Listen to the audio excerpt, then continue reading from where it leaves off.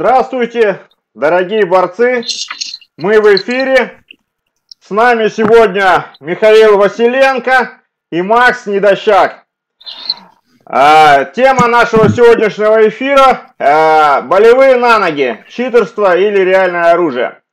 Но я начну с того, что зачитаю а, в рамках нашей душевной миссии нашего марафона, зачитаю пожелания тренеров а, и любителей джиу-джитсу а, по тегу «Джиу в тебе». Тренер Максим пишет ребятам из своей команды.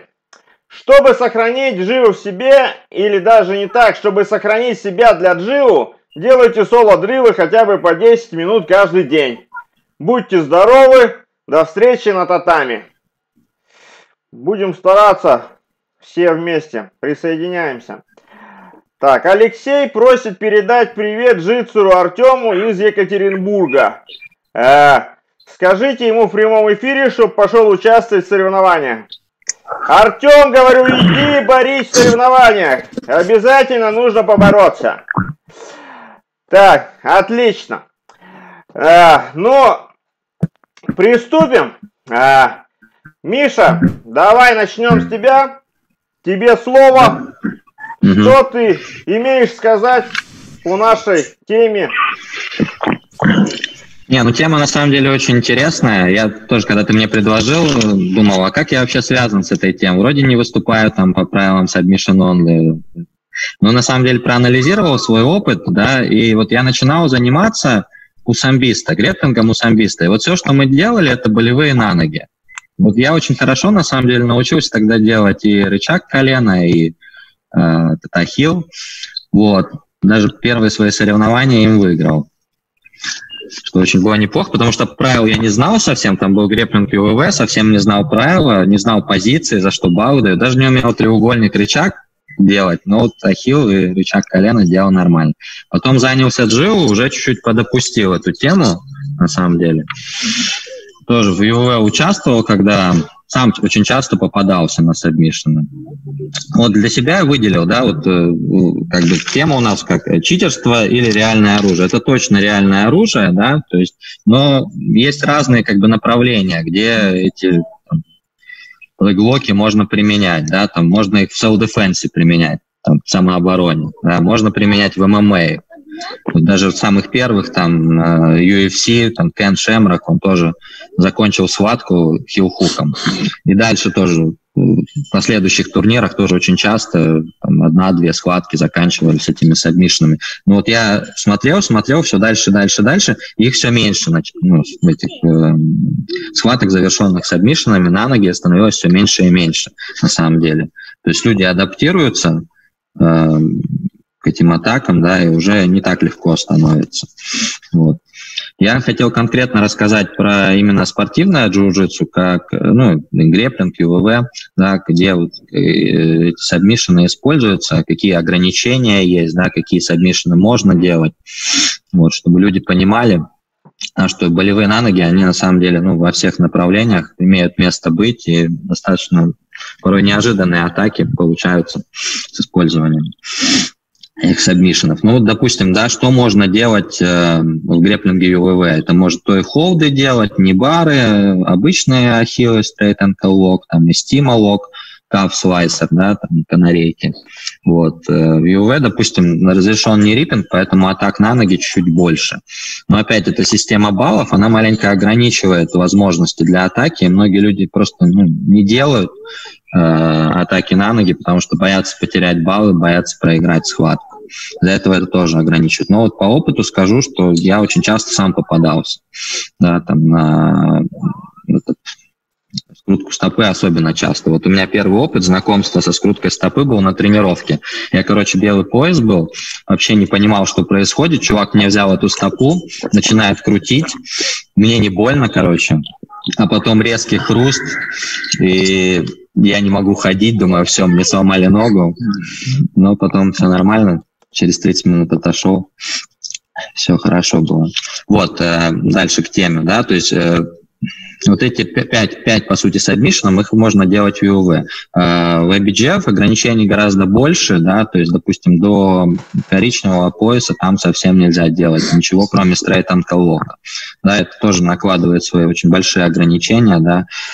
Ну, для начинающих, наверное, это хорошо, да, когда есть ограничения на сабмишины на ноги, позволяет лучше развить работу в гарде, научиться держать гард, атаковать гард.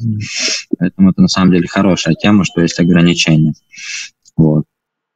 Но начиная с коричневого, уже все эти пять, пять сабмишенов уже можно делать. Это хорошо. Но опять ограничения на нериппинг есть, да, которые тоже накладывают свои фишки какие-то, да. Но зато можно там single X, 4.11 делать спокойно, 50-50, да, то есть это ну, открывает много возможностей, может быть, не для атаки на ноги, но, по крайней мере, для контроля какого-то, да, так как Джил больше работает в гарде, то какой-то контроль эти атаки дают. И мне вот очень понравилось, э, как Гордон Райан, смотрели, да, как он боролся на Give Words, его схватки? Ну да, да вот, вот у него не было, не было ни одного сабмишена на ноги, да, потому что ну, он в основном на хилхуках специализируется, но очень, очень четко адаптировал вот эту позицию 4.11, да, для того, чтобы свиповать, да, там контролировать, не давать забрать спину и дальше там проходить гард. Вот это мне очень понравилось. Вот. Ну, а, я больше на болевых на ноги начал акцентировать внимание, когда вот такую очень хорошую мысль услышал. Да? Ну, все, наверное, ее знают. Там Дин Листер говорил, что типа зачем игнорировать, игнорировать 50% тела. Да? То есть у вас есть возможность атаковать еще верхнюю часть, нижнюю часть. И это очень неожиданно получается. Да? Допустим, ты выходишь на рычаг локтя, человек начинает уходить, выпрямляется, ты переходишь там на рычаг колена. То же самое треугольник, оплата, да, вообще отлично работает. Вот. Э, но как отдельный прием, да, вот я считаю, допустим, я когда стараюсь своим ученикам давать это как систему, как я это понимаю, как систему, как контроль, да, то есть ты выходишь на позицию, ты должен ее контролировать, да, и тогда дальше уже э, научившись контролировать позицию, ты можешь перейти на, там, на какую-то атаку, да, какая там разрешена по тем правилам, по которым ты борешься, да. Вот, поэтому, ну, когда вот, э, ну, сколько э, там э, времени, сейчас сформулируем мысль, да, вот э, болевые на ноги, они же все время существовали, да, вот сколько там джиу-джитсу существует, греплинг, они все время были, но вот только в последние там сколько, 5-6 лет это уже э, начала как система формироваться, правильно, система атак на ноги. Да? И это стало интересно. Вот, допустим, ну просто там тебе какой-нибудь хилхук показали, ты да, окей, да, но ты его сделать не можешь, потому что человек там второй ногой постоянно сбивает твои руки. Вот как, если это как систему воспринимать, это очень интересно на самом деле, да, и интересно всем. Причем не только тем, кто работает по правилам submission only, но и тем, как я, допустим, больше акцентирую внимание на работе соревнованиях по баллам, да, то есть ты, допустим, выходишь на ногу, ты контролируешь, ты можешь как свип использовать, как контроль, да, для того, чтобы выйти за спину, либо ну, еще что-то сделать, вот.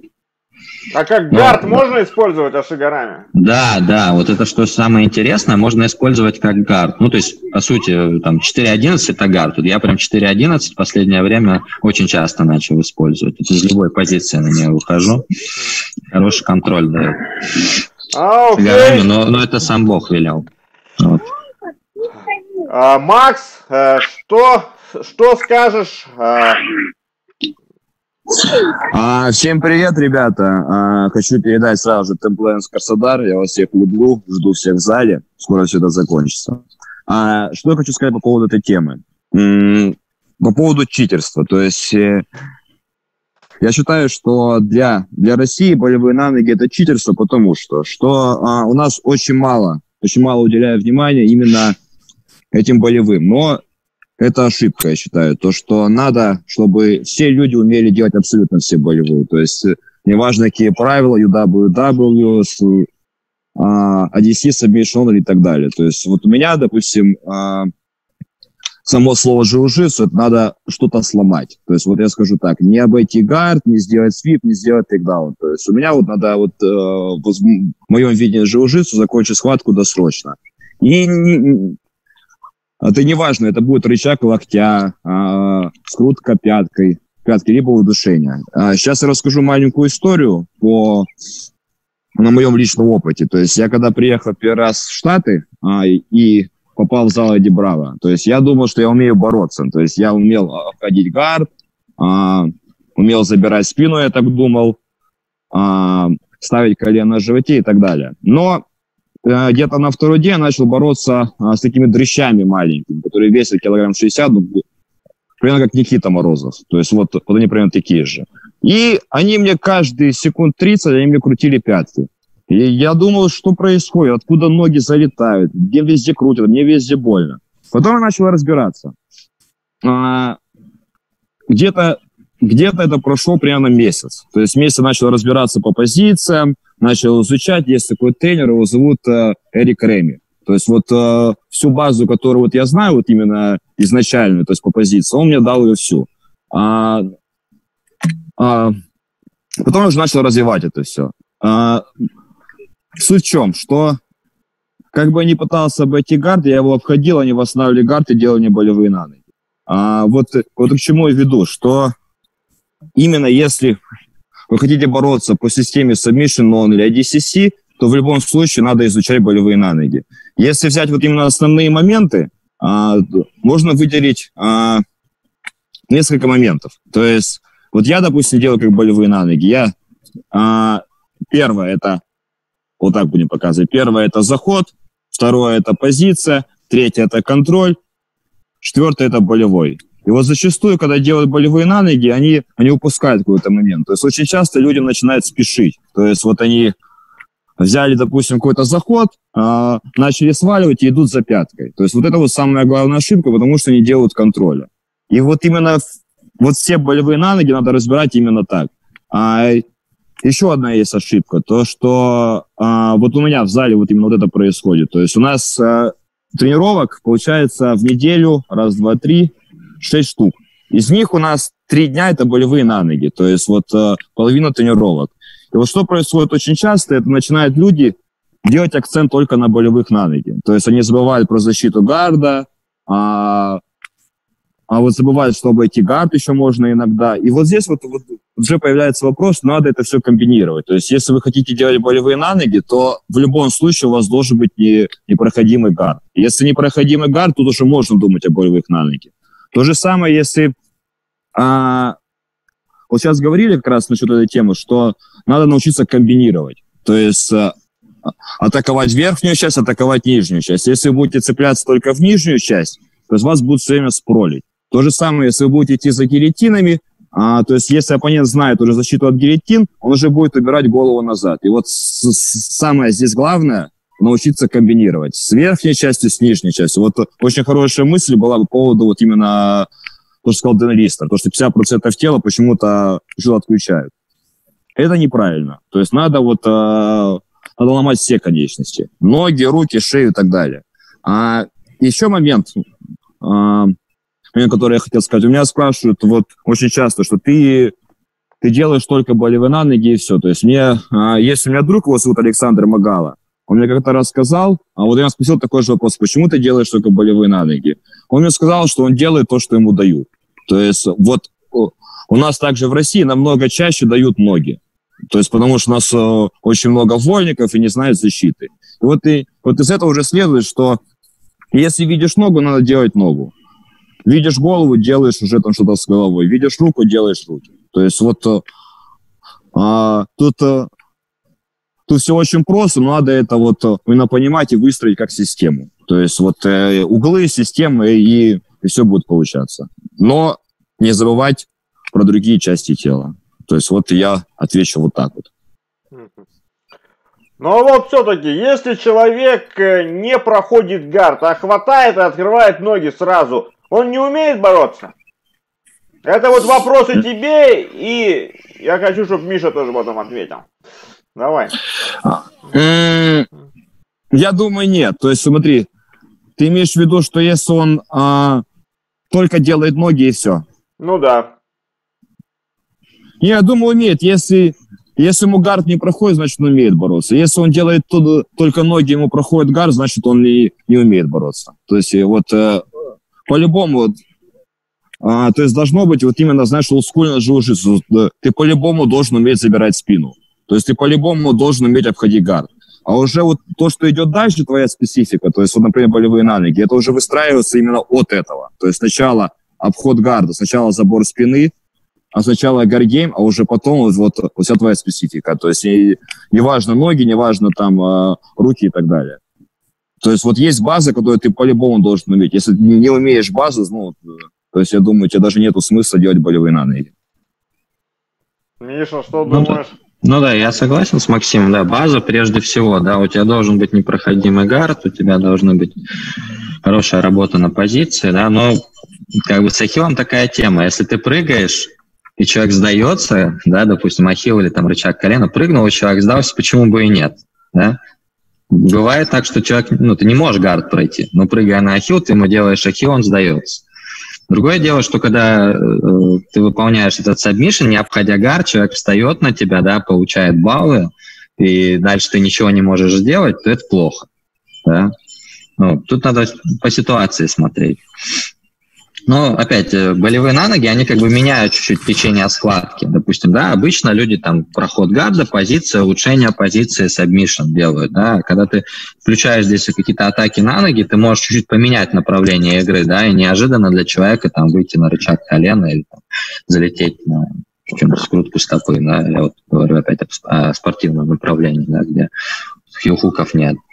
Это очень резко поменяет, да, и человек может не ожидать. Я даже сам, ну, сам вот, допустим, так тапал иногда на царевках, да, то есть я вроде работаю в гарде, все хорошо, человек не может мой гард пройти, я уверен, тут, оп, моя нога, он ловит и скручивает стопу. Я не готов к этому, да, вынужден потап. Вот.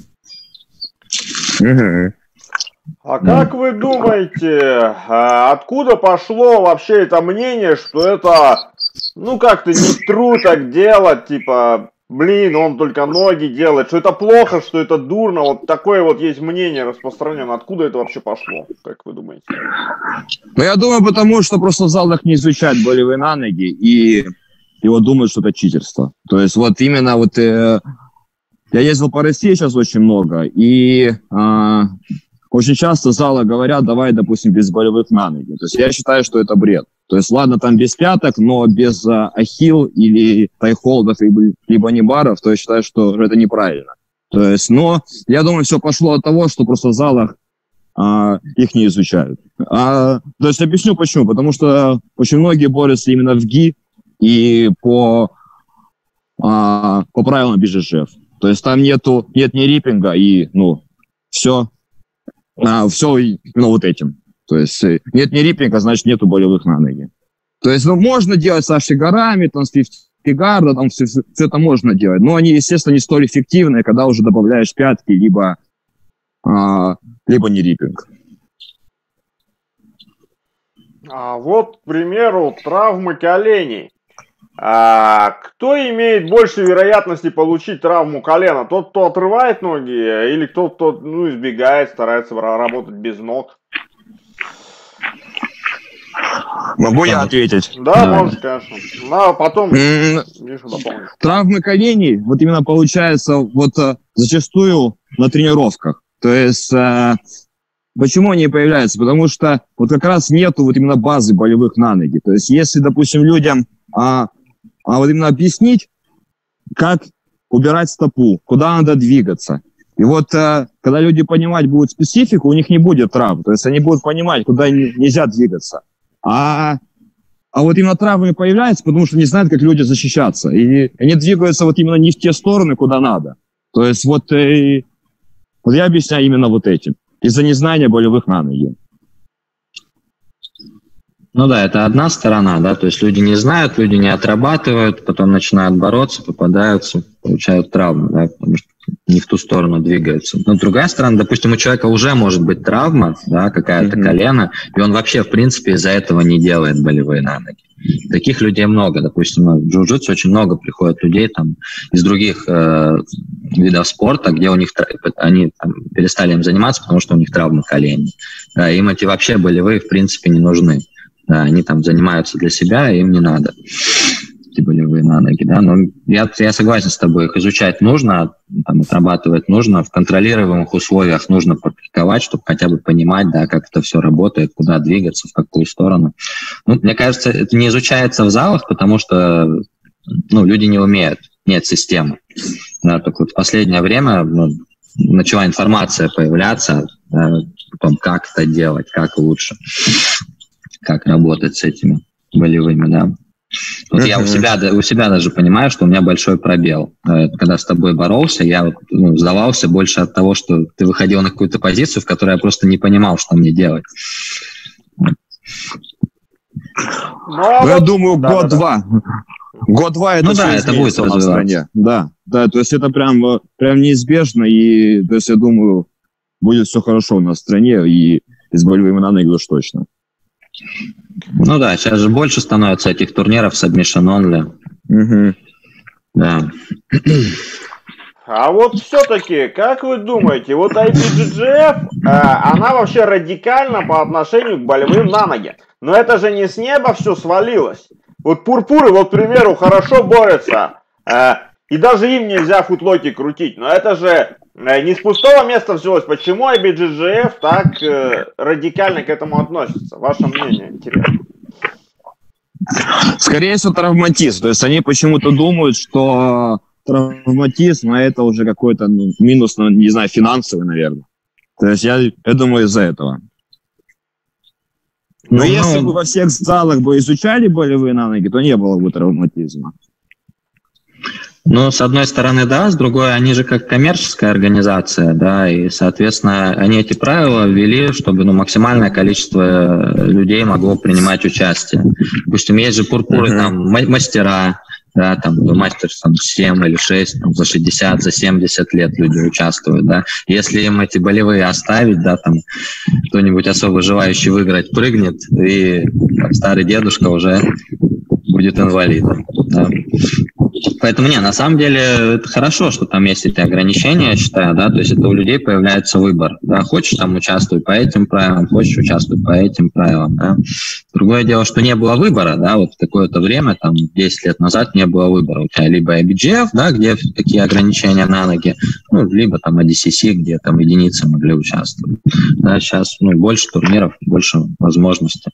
Но это на самом деле хорошо, да, то есть люди приучаются таким турнирам, начинают в залах изучать эти болевые на ноги более активно, и это тоже ну, приводит к снижению травматизма. Я думаю, через какое-то время, там лет через пять, да, вот даже э, ну, будет меняться все. Я хочу просто про, про арабов еще рассказать. У арабов, допустим, есть турниры Grand Slam, да, профессиональные турниры, где они постепенно начинают, допустим, убирать цветных поясов. Да, уже убрали белых, скоро там уберут синих, потом пурпуров и оставят там только коричневых, черных. Я думаю, э, среди этих категорий они будут менять правила. То есть они уже изменили, там убрали, бал, э, убрали advantage, да, теперь типа каждый это балл. Я думаю, также с сабмишинами через какое-то время, да, чтобы более интересно, более динамично сделать, еще добавят, там, уберут не риппинг. Да, то есть основная там проблема с ногами это не риппинг. Там ногу чуть перенес, все, там, на рычаг колена, особенно когда выходишь, человек начинает крутиться, чуть провернулся уже, тебя дисквалифицируют. Да, мне вот этот вопрос особенно интересен. Я хочу, чтобы и Миша, и ты рассказал, и Макс, и ты по нерипингу. Ваше отношение к этому Потому что вопрос как бы серьезный, не риппинг для, для многих воспринимается как э, не, нечто страшное. Правда ли это страшно? То есть разберите эту тему, потому что не, не риппинг это такая для, для многих загадочная страшная область. Давайте о ней подробно поговорим. Расскажите, пожалуйста. Ну, давайте я разберу тогда по поводу вот именно захода. То есть э, не риппинг, он, он чем опасен? Он, он опасен и, и для атакующего, для защищающего. То есть если вот я сейчас покажу область таза, вот здесь, вот, вот эту область, то есть есть позиция ашигарами, когда вот здесь находится стопа. Она находится прямо в таком положении. Когда мы заводим стопу вовнутрь, у нас тем самым носок двигается вовнутрь бедра. И вот когда вот это движение идет, тут, а, тут очень много контрприемов. То есть даже когда мы делаем атаки, то есть я как, я как атакую ноги, то есть я я атакую ноги, чтобы не было вот этой, знаешь, игры именно. То есть либо мне сделать, либо ему. То есть если я делаю ногу, то должен по-любому я атаковать. Никаких, никаких контрприемов. То есть здесь вот уже идет момент по поводу, по захода туда. То есть э, очень много нюансов, как убирать, убирать свой носок. То есть носок, если в таком положении именно вовнутрь таза идет, здесь уже есть контрприемы. То есть это по поводу вот именно именно атакующего. Если мы возьмем уже вот именно защищающего, то есть при движении через нериппинг, также если я буду в таз показывать, у нас идет сгиб колена. То есть как раз вот эта вот стопа вот будет сгибать колено. И если мы будем поддаваться вот этому усилию, как раз уже появляется травма. И вот как, как вот это все избежать? То есть мы должны просто все время держать коленку ровно. То есть не давать его сгибать ни в одну, ни в другую сторону. То есть и не, не давать сопротивления. То есть если он дает какое-то усилие, вот, допустим, в левую сторону, если будете давать двигаться туда же, а потом в другую сторону, то здесь появляется травма. То есть мне вот мне кажется, самое главное, вот надо вот именно избежать травм. То есть, э, потому что, ну, все мы, все мы занимаемся для себя, для здоровья, ну, кто-то уже там более как для карьеры своей, но вот э, самое главное, если вы хотите делать болевые на ноги, надо, надо избежать травматизма. А избежать только если вот именно понимать прием. То есть вот не риппинг, а Отсюда, естественно, то есть самая, вот самая лучшая позиция, это когда мы заводим туда ногу, то есть э, позиция называется 4.11, и всем надо стремиться, если делать болевые на ноги, именно к этой позиции. То есть, чтобы делать внутреннюю пятку. Тайхолды, небары, ахиллы, все это очень круто, но на, на высоком уровне это почти сделать нереально. То есть, ну, может быть, какая-то одна схватка там из, из 30 вы сделаете какой-то такой болевой, но стремиться надо, вот, естественно, к внутренней пятке. А внутренняя пятка – это не риппинг. Вот я отвечу вот так вот. Угу. Миша? Ну, я согласен, да, по поводу ноуги, допустим, да, в том же греппинге УВ э, не риппинг разрешен, да, и никаких проблем это нет. Но вот в ГИ это уже а, достаточно опасно, потому что, ну, нога постоянно запутывается в этом кимоно, да, ты переносишь э, ногу, там застряла да, начинаешь крутиться в эту сторону, нога противника застряла, и вот из-за этого могут там какие-то травмы появляться. Допустим, в ГИ я бы оставил Нерипин, да, я бы его не выбирал, как бы он там нормально заходит. Хотя в том же Fight to Win Pro, в этом промоушене, где они в ГИ борются с нерипингами, ну, вроде никаких таких проблем не было. Но опять, это все от уровня зависит, да, то есть если уровень спортсменов достаточно высокий, да, то, в принципе, можно оставить. Я бы вот так сделал, допустим, с коричневых, с черных я бы разрешил не Вот, никаких бы проблем не было. Это, наоборот, бы ну, чуть-чуть подтолкнуло бы развитие. Вот. Я не считаю нерипинг опасным, да, то есть у меня с, с нерипингом лично у меня никаких э, травм не было, у моих учеников тоже. Проблема только в незнании, да, люди, люди боятся его, потому что, ну, это типа запрещено и, и все. А сами никогда этот нерипинг не делали. Типа они хотя бы чуть-чуть поработали с этой позиции, они поняли, что ну, ничего страшного нет. Особенно, если нельзя делать пятки. Вообще никаких проблем. Вот. Но... Это мое мнение. Поэтому бояться не стоит нерипинга. Да, есть ограничения, нужно его понимать. Многие ребята, которые там приходят из самбо, из греппинга, они очень часто попадаются да, на это правило. Ну, как бы, знаешь, оно, мне кажется, придумано для того, чтобы просто вот этих э, людей, которые любят ноги, не допускать до, до высокого уровня, потому что ну, они хорошо делают, да, но они не обращают внимания обычно на риппинг. Вот они перенесли ногу, все, можно им там дисквал дать и все. И исключить типа сильного соперника с турнира. Вот. Мне кажется так, что никакой опасности особо нету, особенно если ты знаешь, как это работает. Вот. Это мое мнение. Ну, я продолжу э, тему э, травм, потому что э, людей это волнует больше всего. Все бы рады ноги крутить, но боятся. Вот Патрик Гаудио, увидев грэплинг, сказал, что эти люди такими темпами не сохранят свои колени. И к пурпурам будут инвалидами. Микротравму могут не заметить, э, но все эти микротравмы накапливаются, и колено медленно и незаметно убивается. Так ли это? Профессиональные травмы, думаю, есть. Все-таки есть, да. А, момент есть один, что даже на, на Submission Only турнирах, вот а, есть такой турнир, он самый популярный, наверное, Submission Only, который не профессиональный, называется Gracie World. А, там а, то есть как он, как он проходит. То есть приходит Эдди Браво, а, там борются белые пояса, синие, пурпурные, коричневые и черные. И вот даже на вот этих турнирах можно только с пурпурного пояса делать пятки. То есть вот на Submission Only не на всех турнирах вот именно разрешено делать пятки. И вот они как раз это специально сделали, потому что вот э, в начальном этапе есть травматизм. То есть я вот считаю, что примерно первые, наверное, первый год, первый год занятия, вот если вот э, будем заниматься по, по системе Submission Only, делать пятки, делать все болевые, вот именно первый год самый вот э, самый высокий вот э, риск травматизма. То есть уже когда ты уже более опытный, ты начинаешь это все чувствовать, и это все меньше и меньше. То есть тут вот э, главное попасть вот именно грамотному тренеру, кто вот тебе вот объяснит, что вот сюда двигаться нельзя, здесь тебе будет больно, здесь тебе будет травма, здесь тебе будет микротравма, а потом, потом впоследствии ты уже а, не сможешь ходить. Вот, например, вот так вот. Миша, что думаешь?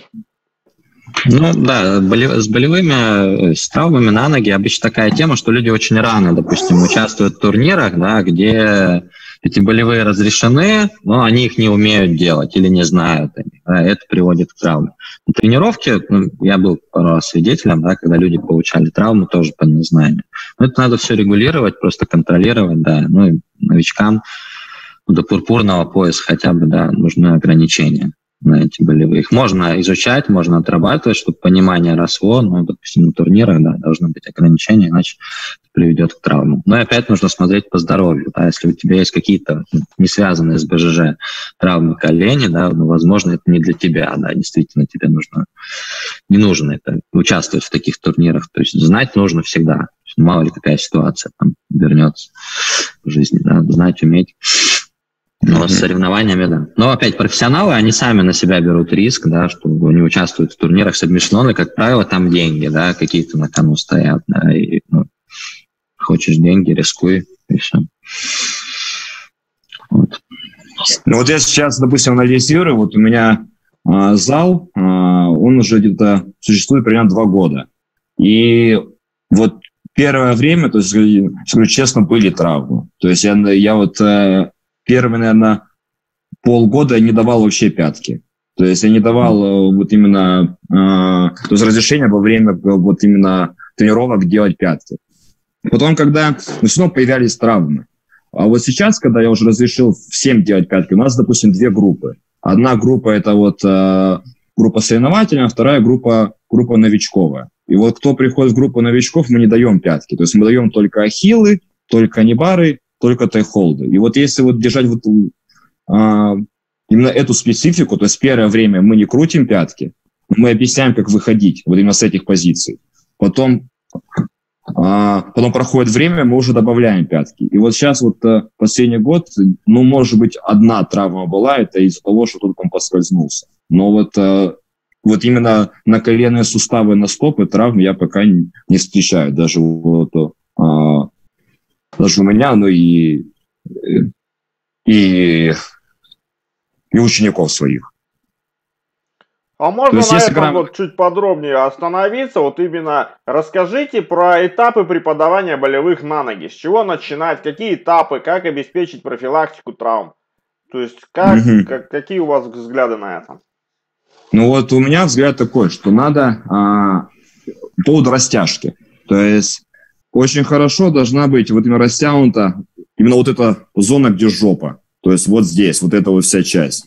А, очень много вот именно действий идет, идет отсюда. То есть, естественно, естественно должны быть а, растянуты а, коленные суставы, тазобедренные суставы. И если говорить вот именно о разминочных упражнениях, то это, естественно, вращение коленок вовнутрь, в сторону и так далее, там таз вращать и все вот это. И подготовительные дрилы. То есть дрилы на атаке, это надо уделять времени прям очень-очень много. То есть это первые это также полгода, потом уже добавлять технические действия. То есть сначала мы делаем дрилы, дрилы для атак, дрилы для защит, а потом уже атаки. И вот если вот держать вот эту специфику, то есть мне кажется, очень будет мало травм. То есть, естественно, можно объяснить, какие дрилы, но вот и, а, то есть я даю дрилы это а, именно по по основным, а, по основным позициям. То есть у меня основные позиции это ashi garami, double ashi garami, 50 guard и heel hook. То есть вокруг вот этих позиций я просто кручу все дрилы. Потом дрилы соединяю, и уже появляется какое-то понимание. И с, с одного технического действия мы перетекаем в три технических действия, в пять технических действий, и вот уже как, как пазл все выстраивается. Потом добавляем техники, и уже понимание, вот э, появляется понимание. А далее уже каждый, каждый под себя выбирает свою технику. То есть у всех, естественно, короткие там ноги, у кого-то длинные ноги, но, но база одна. То есть вот, вот так я отвечу. Миша, что думаешь? Ну, я обычно лично для себя, как я разбираю, да, я беру какую-то позицию и максимально из этой позиции стараюсь все возможные варианты изучить, да, там, можно такой submission, такой submission сделать, да, вот, переходы из этой позиции в другую позицию. То есть я дрилов на самом деле очень мало делаю сам, ну и мало ученикам, да, и больше стараюсь акцентировать внимание на технику, да, на разбор, на понимание э, позиции и действий, которые из этой позиции можно сделать вам, тебе могут сделать, да, и как защищаться, да, то есть именно такой как больше интеллектуальный разбор, да, мне больше нравится лично мне, и также ученикам своим даю, да, по поводу каких-то физических возможностей, да, это всегда нужно, то есть, ну, для, в принципе, для хорошего гарда, да, у тебя должны быть разработаны тазобедренные суставы, хорошо растянутые эти хамстринги, задняя поверхность бедра, передняя поверхность бедра, стопы, да, это обязательно нужно делать, да, уделять этому внимание, иначе ты можешь просто тапать из-за того, что у тебя там плохая растяжка, и ты не можешь просто чуть-чуть потерпеть, да, такое очень часто бывает. Вот. Вот так. А вообще вот этот вот переход в коричневые пояса, вот, э, Миша, ты точно знаешь, э, это вот э, своеобразный переходный возраст, это какой-то чувствительный вообще период. Вот ты соревновался, соревновался, не делал, не делал, ну, не делал, хоба, тебе дали пояс, и тебе можно делать. Не, Это не. как вообще проходит? Не, ну у меня не так было. Я, начиная с белого пояса, я участвую в турнирах, где ну, можно все приемы делать, да, то есть как, как у черных, да, как у коричневых черных. Поэтому для меня это не новость, допустим, да. Просто, ну, э, сам по себе, да, вот этот пояс, он дает тебе больше возможностей. Э, больше возможность атаковать на ноги. Если, допустим, да, ты и возможность есть, а ты э, этой возможностью не пользуешься, то кто-то будет пользоваться этой возможностью на тебе. Да, поэтому ну, ну, нужно разбирать. То есть я сейчас больше стал этому уделять внимание. Вот. То есть до этого, ну, я совсем как бы ну, так, там, ахилл, скрутка стопы и все. Вот, а сейчас ну, гораздо больше. Это стимул дает, да, то есть это как э, разрешение. Вот теперь тебе можно делать, да, делай, окей, все. Ну, опять, я говорю, я участвовал ну, и по другим версиям, где сразу все, все разрешено. Но лично для меня всегда в приоритете было там джиу-джитсу в ГИ, поэтому ну, для меня это как от, от, открытые двери. Да? От, открыли двери, теперь можно делать, да? но не все этим пользуются. Но я считаю, что если, допустим, ну, хочешь черный пояс получить, у тебя эта область должна быть закрыта, у тебя все области должны быть закрыты твоем джиу-джитсу, да, ты должен и, там, и гард хорошо проходить, и снизу свипы делать, да, и в ги, и в ноуги бороться, и на ноги атаковать, да, ну, есть должен, все, все, все, все дырки закрыты должны быть, тогда ты будешь эффективно бороться. Вот. Миша, а как вот ты считаешь, все-таки, если ты вовремя постучишь, то ты травму не получишь, а вот где-то грань, когда можно терпеть болевые на ноги, и когда терпеть уже опасно. Вот хочу сперва твое мнение, потом мнение Макса. Вопрос такой. Ну, э, о своих гранях нужно на тренировке эти грани проверять, да, до какой степени ты можешь терпеть. Когда ситуация более-менее контролируема. На соревнованиях, да, когда человек выходит на submission, он выходит, как правило, очень резко, да, и у тебя возможности там, ну, подумать нету, да, то есть ты должен уже заранее понимать, да, вот у тебя там стопа растянутая, допустим, я не, ну, никогда не тапал от там, всяких там канареек, кавсвайсеров, у меня прям, ну, какая-то толерантность к этим приемам есть, но там слабость на ахиллы, допустим, да, от хила я очень легко тапаю, поэтому я просто это понимаю, да, и все, и когда мне там выходит на прием, и я должен оценить да, за счет своего опыта, могу я выбраться или нет, да, и, ну, соответственно, принять решение, сдаваться или нет. Но как бы проверять свои грани нужно на тренировках. Да, не знаю, там, стандартное упражнение самбистов на ахилл, берут оба ахилла и начинают тянуть. Да, и типа кто первый сдаст. Или там скрутка стопы то же самое. Вот ну, терпеть это не самый лучший вариант, да, то есть, ну, ты должен просто знать способы выхода, да, и, соответственно, если ты видишь возможность, знаешь, что ты и пользуешься, и уходишь из этого сабмиш, ну да, можно чуть-чуть потерпеть, ну, иногда, да, понимаешь, что, допустим, ну, травму ты не получишь, да, ну, у тебя там будет нога болеть какое-то время, но травму ты не получишь, да, но ты зато выберешь, там, выиграешь схватку.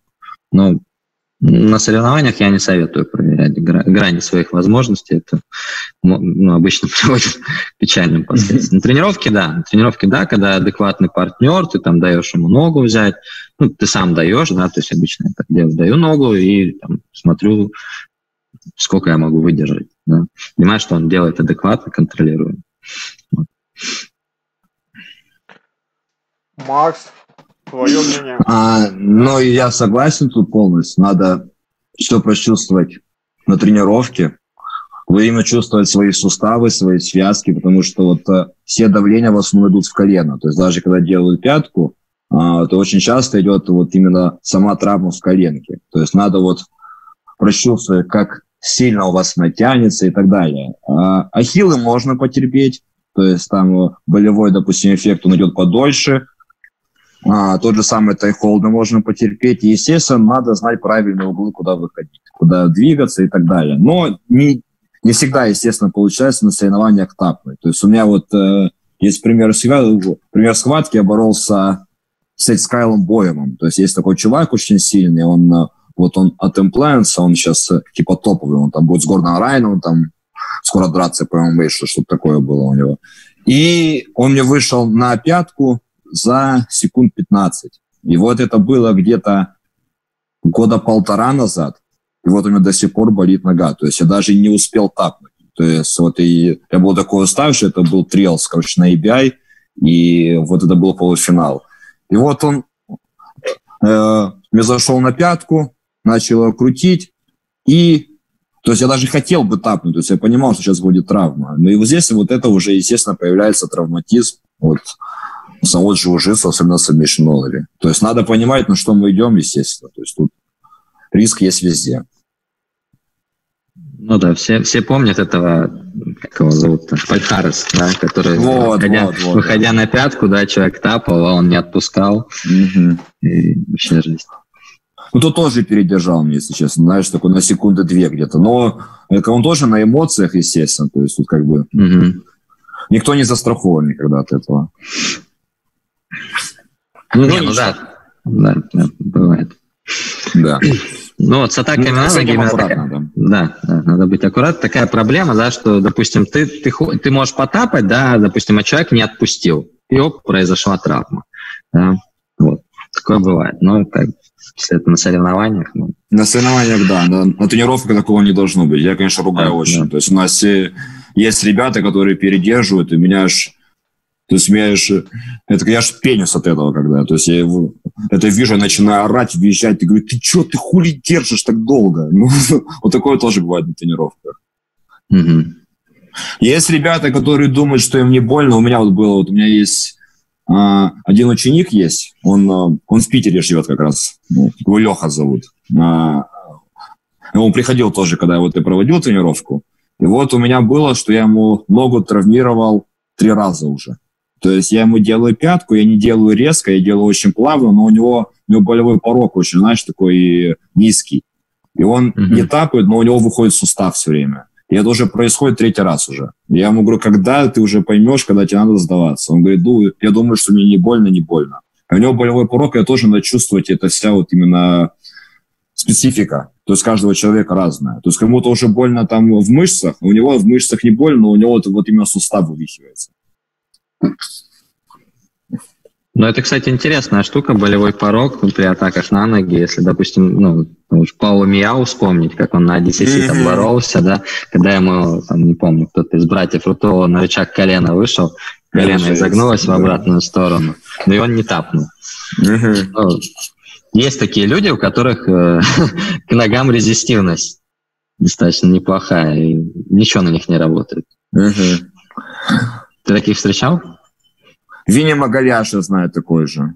То есть Винни Магаляш, mm-hmm. даже есть, у него есть тег есть. Uh, leg lock don't work. Мы это взяли себе на футболке, и вот он говорит, что он не тапает болевых на ноги. Uh, есть люди, которые не сдаются от ахилл вообще. То есть вот Никита Морозов. То есть я ему mm-hmm. не могу сделать ахилл. То есть, ну, это надо знать, естественно, что вот э, я не буду ему делать ахилл, потому что он не идет как бы ему. Но тоже ахилл надо правильно делать. Я ему делаю правильно, и то есть у него стопа уже ломается, но у меня, видимо, не хватает силы, не знаю. А, есть, есть, конечно, очень мало людей, кто, а, кто не сдается от, от внешних пяток. То есть от, от внутренних намного реже. То есть по-любому, вот по-любому, еще раз повторюсь, надо стремиться к внутренним пяткам. То есть от внешних пяток защищаются, от кибара защищаются, от ахилл тоже, а от внутренних пяток уже будут проблемы. То есть все, вот, все, вот, все болевые на ноги, все переходы, все позиции должны именно идти к этому. Вот именно к позиции 4.11, где мы крутим вот именно к внутреннюю пятку. Я думаю, вряд ли там, допустим, в зале, в зале у Даннихера там они, они делают какие-то ахиллы. То есть они вот э, на таком уровне все стремятся туда именно. А мне вот этот вопрос очень интересен. Все-таки э, на BDGF худо-бедно, а ноги как-то делать можно. А, но, естественно, пяток там никаких нет. А, Все-таки а, это эффективное оружие по BDGF ноги? Или можно не заморачиваться? Я думаю, что надо знать, но не делать на этом акцент. То есть вот, вот так вот. То есть и я, допустим, очень редко борюсь по BGF, а, ну, борюсь иногда. Но я бы не делал акцент на это. То есть, если бы я знал, вот я знаю позиции с ногами, то есть я там да, использую как свипы это все. То есть я, я попробую сделать ахилл. Если он не пойдет, я не буду тратить туда силы. То есть я уже лучше встану и возьму там, допустим, какие-то баллы. По обижев имеет место быть, но, но не надо делать на этом акцент. Миша, как думаешь? Не, я э, что сделал? Я до этого типа такое небольшое исследование провел, посмотрел по топам, да, у кого сколько там, допустим, э, сабмишенов а, атаками на ноги, да, на Хирос. Очень удобно там посмотреть. Ну, понятно, там всякие греплеры, там Гордон Райан, там Гарри Тонан, у них там hook, outside heel hook, там практически на первом месте после РНС стоят, да, любимых сабмишенов. Вот. А из топов IBGF, ну, тоже достаточно, на самом деле, много кто атакует ноги. Ну, причем вот этот э, ахилл, да, там, небар, там, э, скрутка стопы, вот они, мне кажется, не очень submission only практикуются, потому что есть более эффективный submission, да, скрутка пятки. Соответственно, люди меньше им внимания уделяют. Допустим, в ГИ, да, у них нету скрутки пятки, они больше акцента, больше проработаны, на самом деле, да, э, техники именно атак на другие сабмишины. Допустим, ну, из примеров, там, Майк Масумеси в финале там, чемпионата мира ахиллом выиграл там схватку, до этого еще там две тоже своим там, фирменным ахиллом завершил схватку. Допустим, я этот ахилл сам делаю, да, вот в ги он у меня прям идеально залетает, у меня очень много сабмишенов ахилла, а в ноуги я не могу его сделать, да, он не так работает, потому что там каких-то захватов мне не хватает для того, чтобы законтролировать, да, допустим. Допустим, у Эрберта Сантоса тоже там э, у него в топе, да, сабмишенов стоит э, Нибар, да, он не баром прям очень большое количество схваток завершил. Вот, там Кайо тоже со своим футлоком из Доваривы, да, которым он тоже достаточно много схваток закончил с обмишенными. То есть, ну, я считаю, в BGF это тоже, ну, то есть раньше меньше было, да, интервью э, Эдди Браво смотрел, он типа рассказывает, когда он по куркурам боролся на чемпионате мира, вот, и что-то вышел там на скрутку стопы, по-моему, да, по-моему, про сколько стопы говорил, да, все начали прямо на, на трибунах кричать, типа, что ты делаешь? Ну, э, как бы с неодобрением отнеслись к этому, да, то есть вот БЖ-сообщество какое-то время, да, вот царила такая вот идея, что, типа, болевые на ноги – это плохо, да. если ты, если на них выходишь, то, типа, ты в плохой позиции оказался, да, вот. Ну, видите, Поэтому, что, на самом... что происходит. Э, во, во всех мемах леглоки подаются как альтернатива про проходу гарда. Э, типа, fuck is do leg lock? Так ли это вообще? Э, новички, это вот эм, аудитория основная этих мемов, они начинают так и думать, что леглоки вместо сложного прохода гарда. Я могу объяснить, как я делаю вот их. А, я, допустим, то есть время комбинирую а, leglock с обходом гарды. То есть если я вот секунд 5, вот я пробую обойти гарды, я туда тараню, там over-under, там double under, там все вот это вот пихаю, пихаю. Но если вот я трачу 5 секунд, я понимаю, что я уже подустал немножечко, то есть э, я думаю, хватит. Если я вижу вот стопу где-то вот с этой стороны, либо с этой стороны, то есть я даже не думаю, я хватаю ногу. Если он начинает выдергивать ногу, я опять стою и обхожу да. И то есть я просто вот эти вот э, атаки просто меняю. То есть и в конечном итоге, то есть он уже будет прятать свои а, хуки вовнутрь, и мне, допустим, будет проще обойти гард. То есть вот э, надо по-любому научиться комбинировать. То есть не, не тупо брать ногу и на нее прыгать. А, еще ошибка есть, это когда берут ноги и дают вставать сопернику. То есть я все время объясняю, что если вы идете на ногу, вы должны по-любому либо законтролировать позицию, чтобы он не встал. То есть мы э, э, по-любому держим в голове какие-то свипы. То есть если вы упадете вниз ногой, он встанет, это свип. То есть по-любому баллы какие-то, ну, вы должны держать в голове, что есть баллы. Либо, если вы не хватаете ногу, вы опять встаете. То есть, если берете ногу, вы по-любому должны законтролить, либо, если он выдергивает ногу, вы должны остаться сверху. Если он прячет ногу, вы обходите гард. И вот это вот, и, если научиться комбинировать, это уже какая-то целостная система уже будет. Ну да, надо грамотно встроить эти болевые на ноги в свою борьбу. Да. Ну, неважно, по каким-то там правилам борешься, все равно а, там атака на нижнюю часть, атака на верхнюю часть. Если ты что-то одно выбираешь, да, эффективность в два раза снижается. Всегда комбинируй. Вверх и тогда это будет хорошо работать. По поводу новичков, ну, новичков ну, у них гораздо больше проблем. И, там, париться им по поводу болевых навыков, я считаю, не, не стоит. да. Ну, как бы они, они есть, да, да. Их нужно изучать, их нужно знать, понимать, но они не понимают гораздо больше вещей, да, и болевые на ноги – это просто одна из них. Вот. Миша, а с каких поясов ты считаешь новичкам надо, ну вообще не новичкам, вообще надо изучать, с каких поясов болевых на ноги надо изучать, твое мнение? Мое мнение синих. Синих. Белые нет. Ну, опять, если у белого есть какая-то база, да, вот, в ММА он может начинать из белых. Но лучше синих. Вот ты стал синим поясом, все, можешь там к своему ахиллу, ну, белый пояс тоже должен знать ахилл, к своему ахиллу добавлять какие-то еще болевые. Если ты опять специализируешься на там, джиу-джитсу ги. То есть ты должен, синий пояс, я считаю, должен знать. Вот мы как-то с моим учеником, ребенком ездили на соревнования, Э, куда мы там ездили, в Чехию. Вот. И там объясняли правила, и даже вот дети там какие-то, они там желтые, зеленые пояса, они знали все сабмишины на ноги. Ну, они могли их показать, по крайней мере. Да, то есть они их знали. Они их не, не делают, у них запрещено, конечно, да, но они могли их показать. То же самое с синим, синими поясами. Да, вот я считаю, синий пояс должен знать э, там, сабмишины на ноги. Не просто там, как на них выходить, да, как от них защищаться, уходить все, там, хилхуки, рычаги, все, которые есть. Да. А дальше уже ну, он уже для себя решит, надо ему это, не надо. Короче. Ну, это как просто программа обучения, да, вот ты, синий пояс, он должен все изучить, все изучить, а дальше уже он будет специализироваться. Там кто-то пойдет больше по правилам submission only, кто-то пойдет по правилам там, спортивного джиу-джитсу. Вот. Это уже выбор дальше будет у человека. Ну, такая поворотная точка – это синий пояс, считаю. Макс, а скажи, а каким образом выстроена система работы с ногами у Эдди Брауа?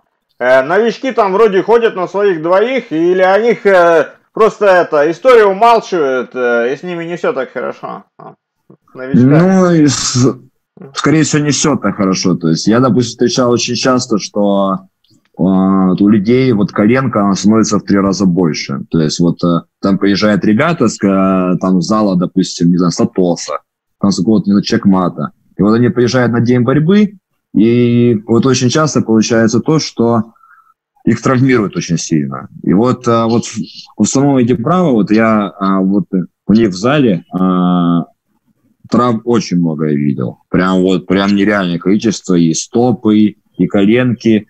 То есть травмы там еще появляются, потому что вот, вот лично у меня очень мало вот именно, именно разминки. Потому что там всего три технических действия. Три технических действия. Это креветка, колесо и берембола. И вот я первое время постоянно травмировался. То есть мне не хватало разминочных действий. Сейчас, ребята, я быстренько. Не, Сейчас. ну это интересно, то, что ты рассказываешь. А вот про коленку тоже еще расскажи. Коленка ну вот у меня, вот у меня был парень, я. Я боролся с англичанином, а он приехал. То есть он приехал с Англии, он вроде коричневый пояс, я закажу ему на пятку. То есть я ему начинаю ее крутить, я делаю очень медленно, то есть я все время на тренировках делаю очень плавно, то есть болевые. То есть я, допустим, заход делаю быстро, а вот сам болевой очень аккуратно. Но, но он почему-то не сдается. И вот, вот это получается то, что я кручу, кручу, он не сдается, у него просто колено вот на, на 180 градусов. У него как раз вот это вот э, кровоизлияние сустав, и то есть вот я таких людей вообще не понимаю. То есть вот, вот зачем оно тебе надо? Вот, вот, зачем тебе надо? Вот зачем ты терпишь? Зачем ты вот э, все сам делаешь травму? А, если взять, допустим, новичков, там, допустим, как сделано? Там, а, чтобы попасть вот именно в класс, класс Эдди Браво, он ведет 4 раза в неделю по вечерам.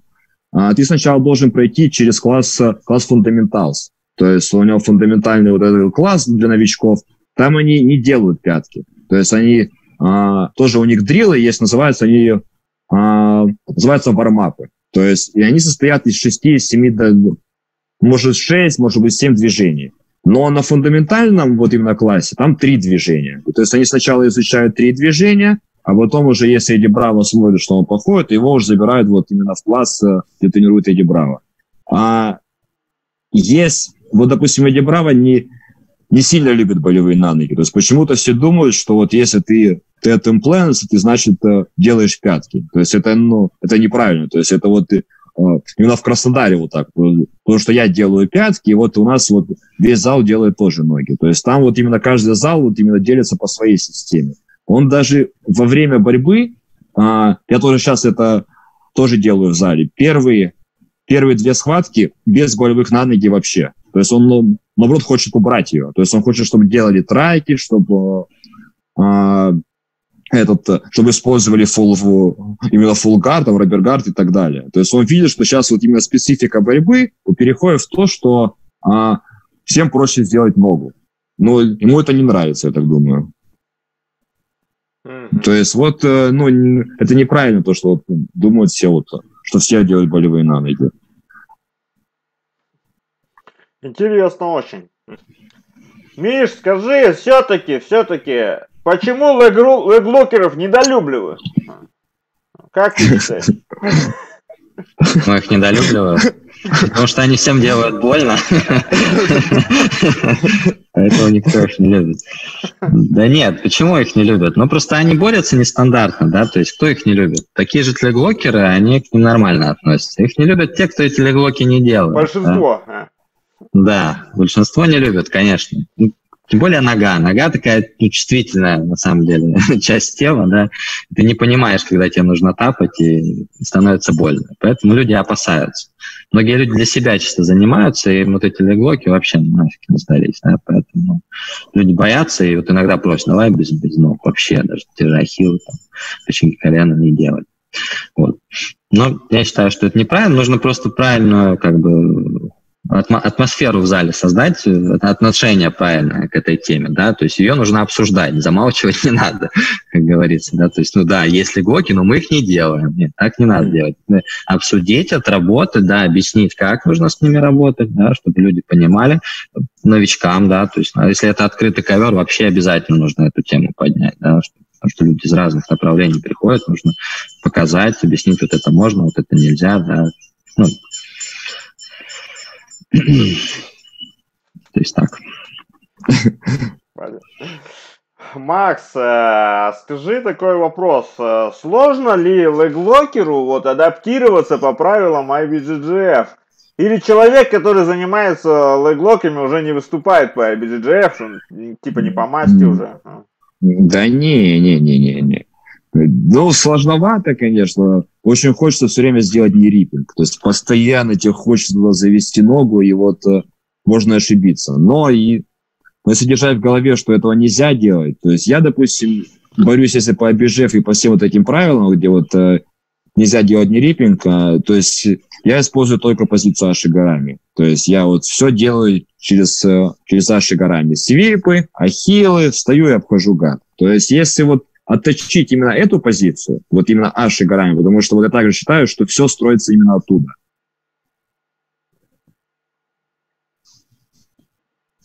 Что-то у нас Макс угу. отключился. Я думаю, пошел сейчас, банк курить. Сейчас к нам вернется. Но тот же вопрос, Миш, по IBGGF, вот, если человек и там, и там выступает, э, у него там не будет каши в голове, как думаешь? Ну, если он эти соревнования меняет, как бы сначала там по IBGF поучаствовал, потом э, в каком-нибудь submission или потом опять по IBGF, я думаю, у человека будут проблемы с адаптацией, да, там, это просто вопрос адаптации, да. Я вот говорю, я считаю, что те позиции для контроля, которые используются в борьбе на ноги, да, у углов, они очень хороши для свипов, для того, чтобы контролировать гард. То есть ты, можешь там плохой гард иметь, но очень хорошо зайдя на ногу, да, не дать гард пройти или сделать сам свип. Вот, поэтому ну, адаптация должна быть. То есть ты должен изначально, допустим, ты готовишься к какому-то турниру IBGF, да, ты не делаешь какие-то позиции, да, чтобы ты там неделю-две привык. Если ты готовишься по правилам submission only или там, не знаю, DCC турнирам, да, то ты специально, да, начинаешь делать вот эти вот позиции с, с нериппингом, да, с выходом на пятки и прочее. Ну, то есть проблема именно в подготовке обычно, да, люди, когда готовятся к турнирам, они на этот момент вообще не обращают внимания. Это очень важный момент, на самом деле. Ну, опять, с нериппингом очень часто проблема именно у новичков, да, бывает. Там, синие пурпурные пояса, вот там я очень часто вижу, что люди получают дисквал, сделав нериппинг. Вот. Там уже у коричневых, черных такое, такое очень редко бывает. Люди уже понимают, да, они, что не надо этого делать. Да. Или если сделали, там даже не сразу дис дисквалификация дается. Да, если ты ногу перенес и сразу убрал, это не дисквал. Да. Другое дело, что ты если перенес и начинаешь делать атаку, судья это видит, тогда он да, дает дисквалификацию. Вот. Ну, не знаю, видишь, я со своей стороны э, рассуждаю, да, я не был, типа, со стороны, типа, человек, который практикует submission only, а потом решил пойти поучаствовать по DBG. Да? Ну, на, надо быть сознательным. Когда ты подходишь к турниру, ты должен прочитать правила, да, что можно, что нельзя. Да, и, соответственно, этих правил придерживаться. А то люди порой, да, там, не риппинг нельзя делать, они сделали не риппинг и начинают возмущаться. Какого фига меня дисквалифицировали? Да? Ну, читай правила, такие правила или то же самое наоборот. Участвуешь в submission only, но будь готов, что тебе будет делать не риппинг, да, и там скрутки пяток. Просто нужно готовиться. Так, тут у нас... Все, ребята, я вернулся. О, классно, классно. Но мы, Телефон в принципе, сел, там. немножко успели чуть-чуть соскучиться. Как раз Ой, это же перейдем потихонечку к вопросам от э, наших зрителей. Э, но я хочу такой еще вопрос задать э, и тебе, и Мише. 26 и 27 апреля будут бороться Крейг Джонс против Магальяша по Submission Only на промоушене Submission Underground. Какие ставки? Винни Магальяш. Ну, не знаю, мне кажется, Крейг Джонс, как он выступал на Одиссе, это вообще как-то феноменальная у него техника атак на ноги. Ну, может быть, да, Винни говорит, что он типа, не тапает от, от этих ног, но, блин, все тапают, все тапают, если правильно выйти. Мне кажется, Винни просто... Говорят, просто. А, понятно. А так мне Крейг Джонс, конечно, нравится. Есть шансы у Крейга, я считаю неплохие. Согласен, согласен. Да. Согласен. Но там, ну, я думаю, 50 на 50. Где-то 51 схватка будет топовая. То есть самое главное, что не была как с этим. Как с Гордоном Райаном. То есть это вот они что-то там, что-то там зашел, он чуть там они подвигались. Вот надо, чтобы была динамика, динамика, заходы, заходы, и тогда будет все круто. То есть самое главное зрелище, чтобы было. Ну да, там с овертаймами submission будет. Я думаю, да. Ну, мне кажется, до овертайма дойдет. То есть так, схватка ровная будет, но овертайм. Ну вот я скажу так, что если основное время а, я поставил бы на, на Крейга. Если до овертайма, то выиграет, скорее всего, Винни Магаляш. То есть я думаю, что Винни Магаляш задушит его со спины. Вот если вот он будет э, выбирать, короче, back mount. То есть если овертайм, и вот если Винни Магаляш будет идти до овертайма, это будет просто отвратительно. Интересно, посмотрим. Ну что, переходим к вопросам от зрителей. Миша, первый вопрос тебе. Э, Макс, самый сильный leglocker, с которым ты боролся? Ну, с которым я боролся на пятках, да. Наверное, да, самый сильный. Ну, просто я вообще ничего не... Ну, как бы я понимал, что ты выходишь на какую-то позицию, но я не понимал, как мне защищаться, и приходилось тапать, да. Ну, плюс еще у нас разница в весе, чуть-чуть мне не хватало сил. Я еще и сильный. Да, да, да. Я отжимаюсь много. Понятно.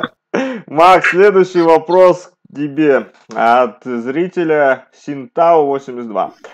А, Тайхолд или рычаг колена? Какой результативней? Просто в изучении. Лучше вплетается в проходы гарда и работу снизу. Более безопасен для исполняющего в плане контрприемов.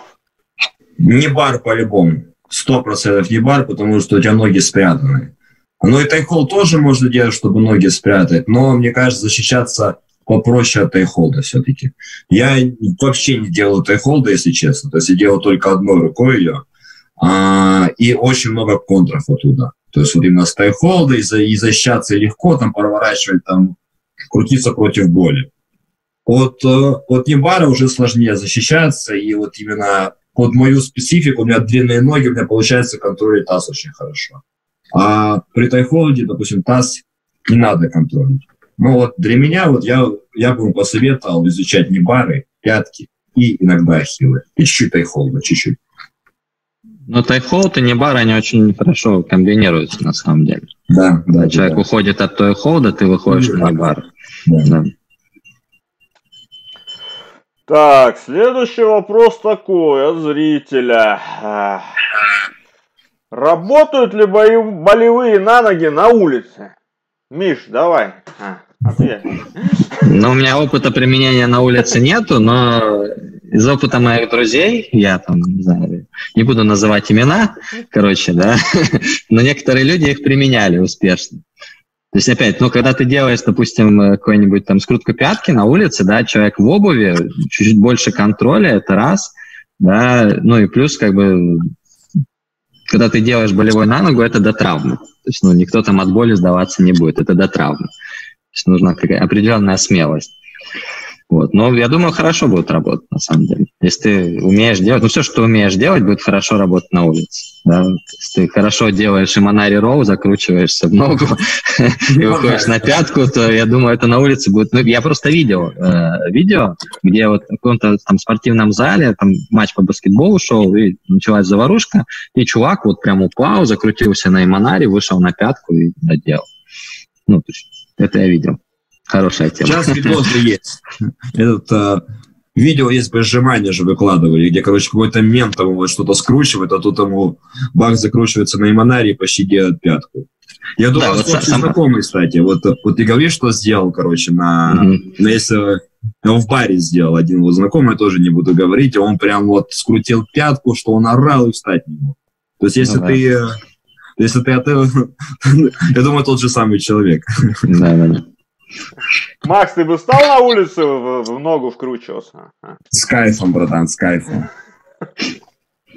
Ну, знаешь, если бы сильно меня обидели бы, то я бы, конечно, скрутил бы пяточку и, и, и ушел просто куда-нибудь. Вот так бы я сделал. Ну, это аккуратно. Ну, ну, ну, понятно, что это ну, травма, это все уголовное дело, но если уже риск там, для здоровья твоей семьи, конечно, я крутил бы пятку. А так, ну, так, конечно, бы я бил, не знаю, просто бы. То есть, а если бы упал вниз, то там уже пяточки идут. Где-то я видел видео на ютубе, Гарри Тонан боролся с ММАшником, но они в ринге боролись, но он чисто вот работал на пятке, а ММАшники типа, пытались его забить, но как бы он всем сделал пятки никто не, не смог его забить. Так что Можно, можно для улицы Да, использовать. да, да, хорошая тема.